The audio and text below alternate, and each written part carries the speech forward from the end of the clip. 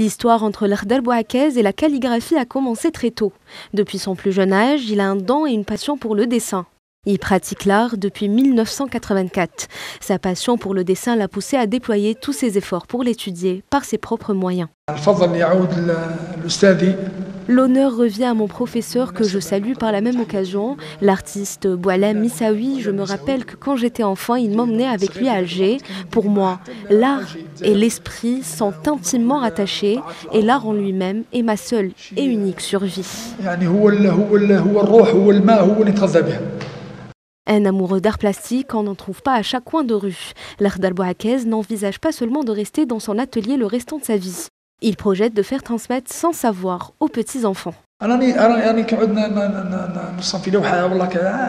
Quand je peins, je suis dans un autre monde. Je ne peux pas décrire cette sensation.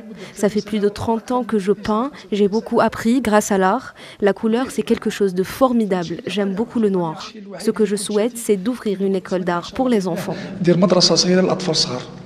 Ce qu'il a de très intéressant aussi dans sa vie, c'est qu'il ne se plaint pas de ne pas pouvoir vendre suffisamment de toiles pour en vivre.